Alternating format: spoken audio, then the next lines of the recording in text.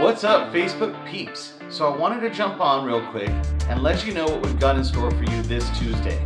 We're gonna have on Eilyn Cueto out of Miami Beach, Florida. This lady is everywhere. Watch a couple of these clips.